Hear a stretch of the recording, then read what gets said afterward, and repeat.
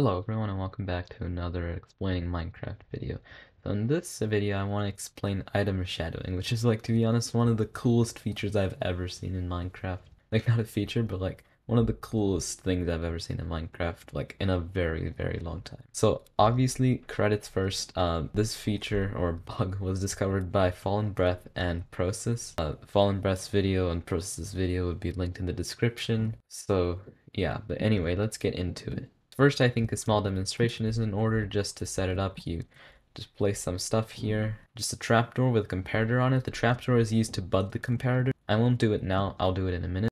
You just want to get a chest here, and yeah, now you're all set. So you want to bud the comparator by opening the trapdoor. This doesn't update the comparator, it just puts it in an invalid state so that it can be updated later. Now what you do is you open up the chest and you put a stack in there by clicking one of your keys, your hotkeys. So by clicking, for example, the stone one, then there we go. Now, as you can see, it didn't appear that I had a stack in my first slot at the beginning, but then uh, when I opened the inventory and synced up the slots, whatever, I don't know, something like that, then this slot, uh, yeah, got updated. But anyway, that's irrelevant.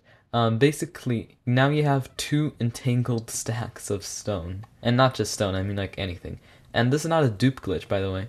Um, as you can see, if you take out like anything, it it still has the same amount. So like, it's not a dupe glitch. It's better than a dupe glitch though, because like, uh, let's say I put I put a chest here. But anyway, as you can see, they both have a stack at the moment. But if I take out half the stack, then you see the other one also gets removed half the stack as well. And if I continue doing that, uh, then you can see. Yeah, whatever. So basically, these two stacks are entangled. Like, uh, this stack could be like you as a player, right? Holding, for example, a bunch of fireworks.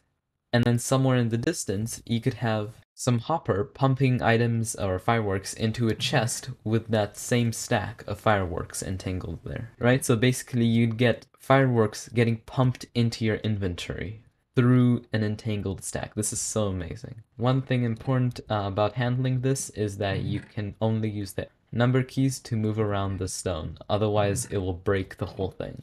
Alright, but anyway, now let's take a look at the code and see what makes it tick.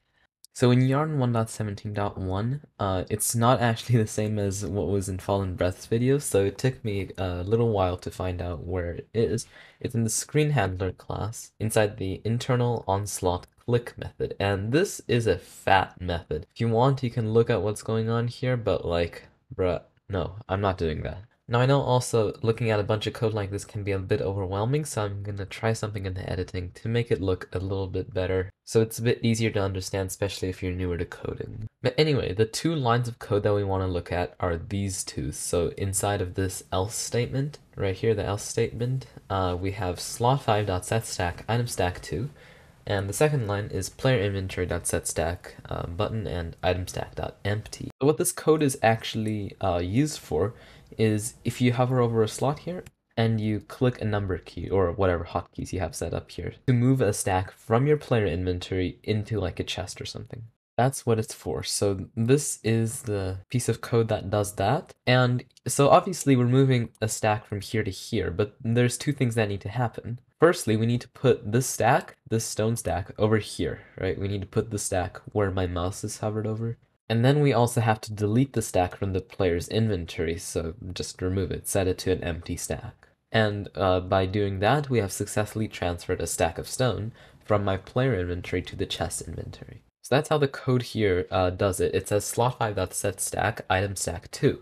And what that does is, as I demonstrated, it's going to make the slot in the chest have the same stack that you have like of whichever hotkey you pressed. Now the set stack method is actually part of the slot class because slot 5 is a, an object of type slot. So you can see, uh, yeah, we have class slot.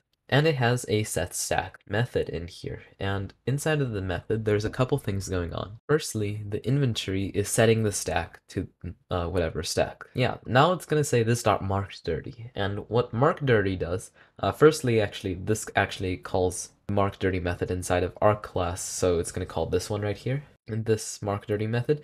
Um, but in this one, what it's going to say is this dot inventory dot mark dirty.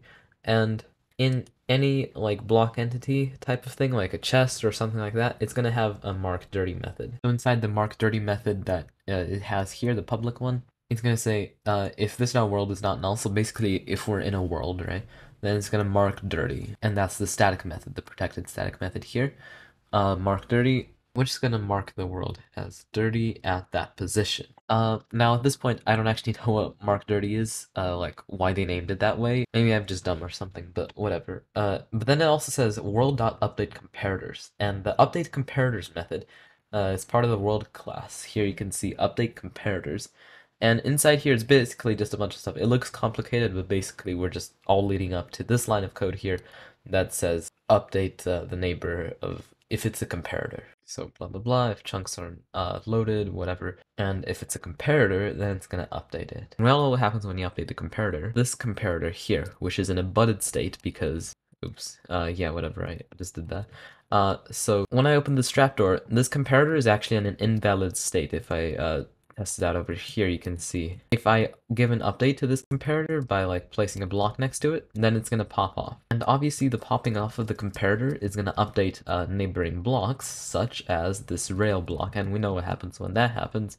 We get all these rails to update called the stack overflow. And in the case of the player interaction, which it is the player interaction because we as a player moved the stack to the chest, it's not going to crash the world. It's just going to stop the tick from continuing to run the code and it's just going to wait until the next tick. So why is this a problem? Well, because this update comparator stuff, so like the comparator and all that stuff, the stack overflow exception, is going to happen when we set the stack in the chest. Now at this point, we didn't actually uh, delete the stack in the player's inventory, right? So this is what the second line of code here is supposed to do. It's supposed to set the stack in uh, the player's inventory to empty, which means that we keep the stack in the player's inventory. And you can see what happens when that happens. Uh, if I move the stack here, so client side it looks like uh, there's nothing here, but if I just like update it again, uh, we get the stone here. And the reason that they're now entangled is because they have the same stack ID or whatever. So yeah, also this comparator is a ghost comparator. It actually doesn't exist there. Yeah, basically that's the whole explanation, that when we set the stack in the chest,